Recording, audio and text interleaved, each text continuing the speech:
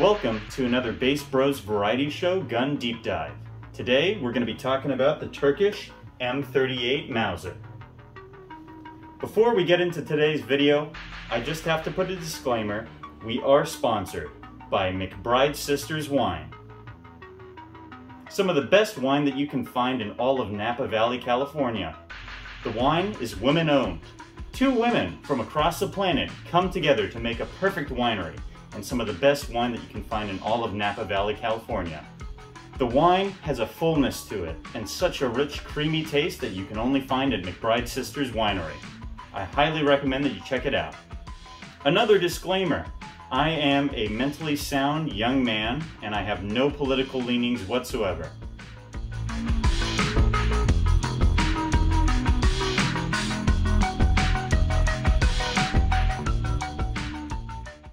So we've got the Turkish Mauser here. As you can see, I've got my Turkish thing set up as well as some different 8mm Mauser there on the table. So the Turkish M38 Mauser chambered in 8mm Mauser, or to be specific, 792 by 57. It's some of the most common and cheapest surplus Mausers one can find, at least in the United States of America. However, the term M38 is not actually one used in Turkey, or the country of Turkey where these rifles come from, in any official capacity whatsoever. Uh, it's rather assigned to the rifles exported out of the country by the nations that received them, primarily the USA. It was a term actually coined by importers who were taking the guns to the US. They just came up with that M38 term, even though there were rifles of this variant, and we're going to get into it, even though there were rifles that were refitted prior to 38 and after 38. The M38 term is one that is used for classification of any of these rifles that were refitted and standardized starting in 1933 by the Turkish Republic. It's just a real big blanket term. So you can find Turkish Mausers that are still in their original designation and quality and still use their older cartridges or they still have the original length. Let's get into the history of how these guys became a thing. During World War I, the Ottoman Empire, now modern day Turkey, was a part of the Central Powers allied with the German and Austro-Hungarian Empire, just to name a few of the Central Powers. Even decades prior to World War I, the Ottoman Empire had been purchasing lots of Mauser rifles from Germany, either by contract to be able to make their own, or produced in Germany and just buying them and having them shipped to the empire. Certain models and variants would be different on whether they were produced or whether they came from Germany themselves. They were getting the rights to produce some of models on their own. After the Ottomans' defeat at the hands of the Allied powers, primarily from conflicts between the British and Russian empires, and the Ottoman Empire's transformation into the Republic of Turkey under Mustafa Kemal, under Mustafa Kemal's Grand National Assembly, the country saw rapid change and development in almost all aspects of a nation the army included, as well as their equipment. Whilst not much is known to an official capacity, with war looming in the 1930s, the Turkish Republic had all serviceable rifles slowly standardized to improve logistics within the army. So they had a lot of different Mausers just sitting in the country, different models, tens of different different models, all with different barrel sizes, barrel lengths, different parts, different calibers, all in varying qualities and conditions. Because of that, seeing that war is looming, they wanted to take all the Mausers they had within the country and they wanted to standardize everything to get their army up to speed after it was kind of demolished after World War I. The M38 could be a huge variety of modified rifles, all with varying value, quality, and slight or more noticeable differences. The one I own, this one here, is actually very common, uh, weighing roughly about 9.75 pounds, unloaded with a barrel length of about 29.1 inches. Rifle I have here, and let me get it closer to you guys so you can take a look, is a 1940s dated, if it'll zoom in, and the the stamping on here has been kind of wearing out, but it's a it's a 1940 K Kala, or to be specific, Karakola, marked uh, Mauser here. And Karakola being the city that this specific M38, the most common M38 rifles were all refitted at. That was the city they were refitted in. And this was also, the one I have is also the one that was refitted there as well. And if you can notice, uh, the wood doesn't actually come in a, a, kind of color quality of this. I took the time to uh, refinish the wood myself, and I'll put a photo up right now uh, showing the rifle, this rifle, the wood's original look and quality before I kind of gave it this shiny, pretty gloss. Something I've noticed on my rifle, due to its Ottoman markings on, on parts and covered parts of the metal tell me that this rifle is more than likely a originally a 1903 model rifle before it was fitted, resized, and whatnot. Something to note is that the majority of the original rifles pre-refitting caliber were not chambered in 8mm Mauser. So a lot of the rifles they had um, at the time were actually in the 7.65 by 53 Argentine caliber. For example, I've got this is 8mm Mauser here, right? Um, so the 7.65 by 53 was more noticeably much shorter. The 53 in reference probably was about yay big. So because of that, that's something that you'll notice uh, is that they had to change the uh, receiver size on a lot of these because the 1893 as well as the uh, 1903 were in the Argentine caliber, so a much smaller caliber. And for whatever reason, they restandardized all their rifles to 8 mm Mauser, 792 by 57. Uh, this is purely speculation on my part, but I think the reason that they refitted and chose 8mm Mauser was during the time of the early to mid to late 30s as well as early to mid 40s. 8mm Mauser was everywhere, especially with their neighboring countries, so it just probably made more sense to standardize it to an ammunition that was not only more powerful but also easier to get if it ever led to them having to buy ammunition from somewhere else. I've already mentioned that the commonality with the M38s is the change to the 8mm Mauser.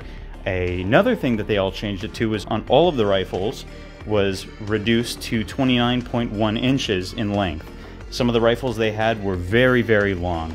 During that transitionary period where there was a lot of armies that had rifles with the absurdly long 30 something inch long barrels, you can actually find M38s with barrels shorter than 29.1, uh, taken from rifles that were originally the carbine models, so about 20 inches, something more like a Kar 98K, but most of them are this 29.1 inch a long rifle, and they considered the 29.1 inch to be a short barrel rifle, even though at the time all the other rifles were already shorter barrel length than this here, which is I mean, just, you know, like take a look at that.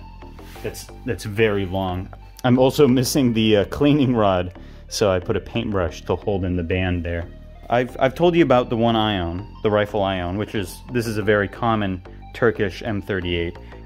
But we can list off most common, which is this here, to the more esoteric models that you could find and the M38. Starting off with the most common is the already mentioned K-Cali marked Mausers, usually being that of 1903 models, cleanly machined at the receiver, varying from as early as 1938 marked to as late as 1946. So a lot of uh, the rifles were actually 1940, 1943, and 1944. Those were the most common years. I've got the 1940. So this is on the earlier end, and there are some 1939s, but they're very rare. Most of them are 1940 to 1946. And a consistency with the K. Kelly rifles is the stamp markings here. Take a look at those, those stampings here. The TC meaning on the very top, Republic of Turkey.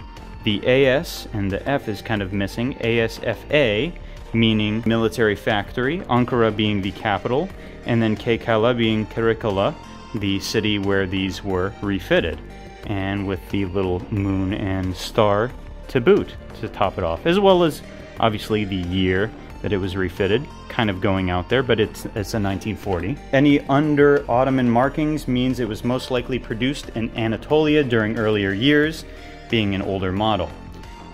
The rifles can originally be either Gewehr 88s, 98s, 1893s, or 1903s. with most being originally 1903 rifles. However, you can find some 1905 carbines as well. A commonality with the 1893s being that they have a machined notch to allow for the larger 8 mil Mauser rounds opposed to the 1903s here that have a clean, if you take a look at that, that machining right there is clean, it's flat.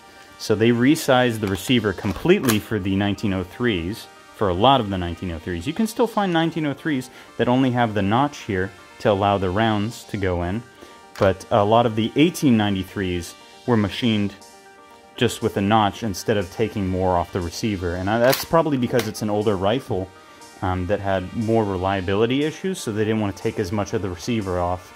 Because if you're taking too much metal off from here, that's reducing the structural integrity of the rifle. The Gewehr 98, and this is something uh, kind of important to mention, most of the Gewehr 98s that were the K-Kala uh, were German produced. So the 1903s, the 1893s were Turkish made. Turkish made, most of them were Turkish made rifles. Um, there are some exceptions that there were Germans, but those are rare. But most of the Gewehr 98s that were converted into this M38 were actually bought from Germany and made in Germany and shipped to the Ottoman Empire and then used and then then converted. So those are German made, and you can actually tell if it's German made or not um, just because you'll be able to see the Waffenfabrik uh, stamping. Uh, you can still see the remnants of the stamping on the rifles. That, or you can find German proof marks on the barrel, so on and so forth. But most of the time, if you don't see any German markings and you only see Ottoman markings on the underpieces, that usually means it was made in Anatolia. Germans usually have better quality steel, so if you do happen to have a German Turkish Mauser, that usually means it's just a tad bit more valuable. There, and this, this is an interesting part, there's also ATF marked 1954 rifles, which are almost all World War I Gewehr 98s. The ATF Ankara Tüfek Fabrikası, even though it means Ankara Rifle Factory, it was abbreviated to ATF in Turkish, so neat little coincidence. The reason for the refitting after the Korean War, I can suspect, was for either ceremonial use, taking these German, the nicer quality German 98s and then having them more reminiscent of a kind of the Turkish style rifle that was already popular and that they already had a bunch of, or the consolidation of converting the last of the already pre-chambered Gewehr 98s to fit the size of the other M38s, either by the shape of the wood or the just to make it look all the same. Um, those 1954 ones were done considerably later than all of these other rifles that were refitted in the 40s. Those are just the common models. There are Turkish Mausers that were Kar 98s that were in service by the Wehrmacht, or Yugo Mausers, or Czech 98s, even Enfields in 8mm Mauser. This is all just the tip of the iceberg, and to tell you guys about each and every one would take me hours of rambling. And a lot of the identifiers I described uh, with the different models being like the 1893 notches or the 1903 kind of clean fitting on the receiver, that, that isn't always the case. A lot of this was just kind of, you know, done on the spot. They weren't really official about refitting a lot of these rifles. So you can find examples of notches on 1903s or clean cuts on the receiver for 1893s and that means that they all have varying degrees of reliability or structural integrity or quality or value. Um, so the, it, it really is a mixed bag with these rifles. And every rifle that you get is kind of has its own little story and mystery to tell that you can kind of uncover on your own. Uh, that even actually applies to the bayonet here that I have. This was actually a 1887 scabbard, and you can kind of tell that because of that kind of curved hilt right here.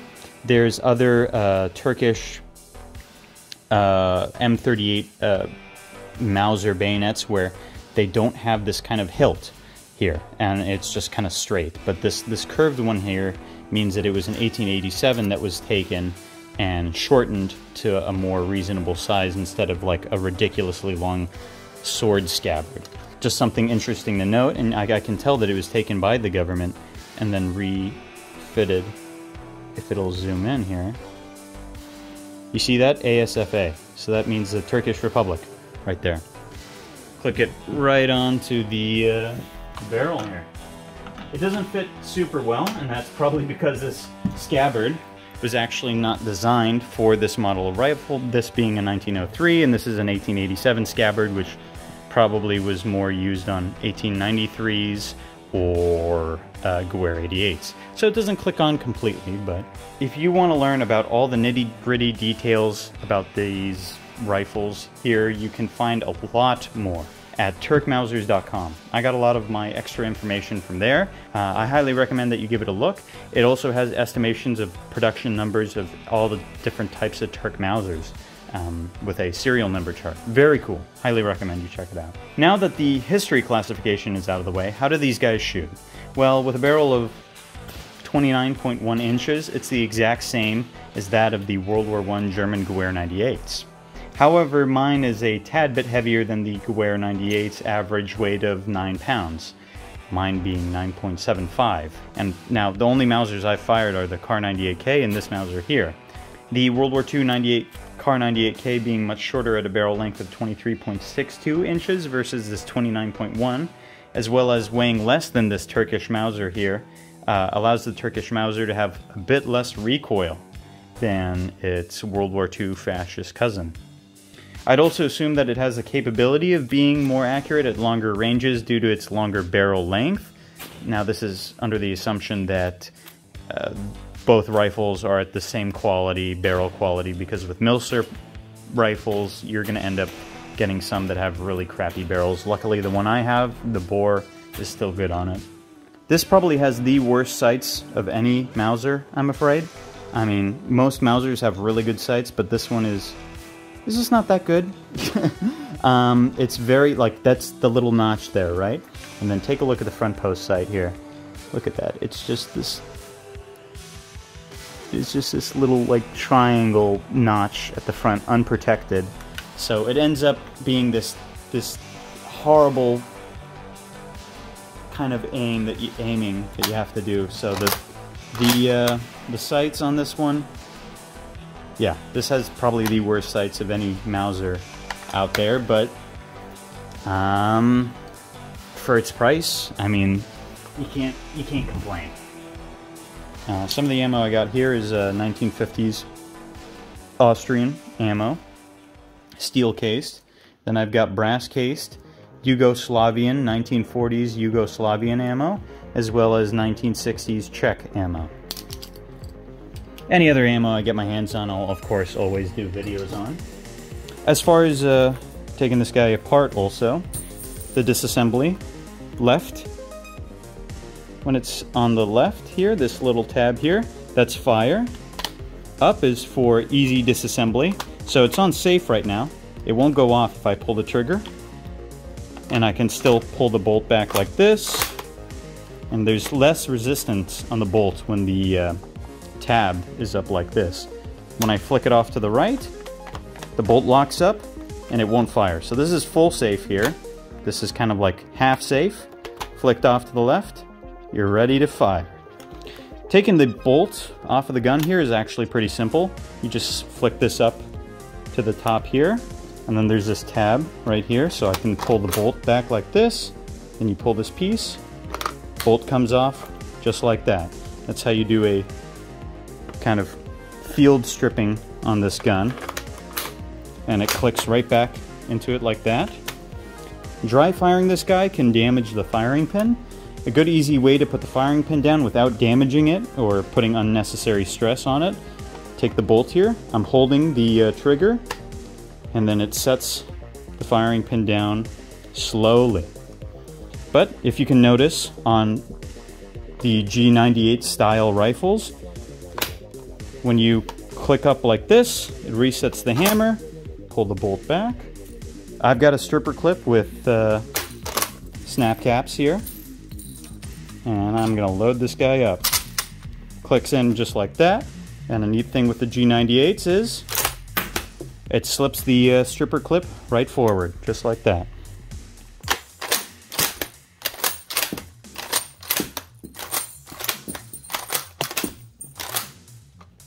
And just like that, all empty. One thing cannot be denied. This is by far the cheapest Mauser you can get your hands on. With good mid-range condition, reasonable prices clock these guys at anywhere between 350 to 375. It makes it a very tempting buy. Not to mention, the one you might get could have seen action in a multitude of wars, with possible notable conflicts depending on the rifle, obviously, ranging from the Italian-Turkish War, the Balkan War, World War I, Turkish War of Independence, World War II, and or even the uh, Korean War with very limited use. Not to say that, you know, you'll get a rifle that actually saw action, but there's always that chance.